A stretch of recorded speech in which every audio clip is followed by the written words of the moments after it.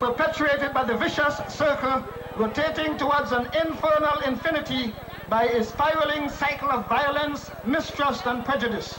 The wheels, once set in motion by man's wickedness, create an explosive spiral and the circle grows.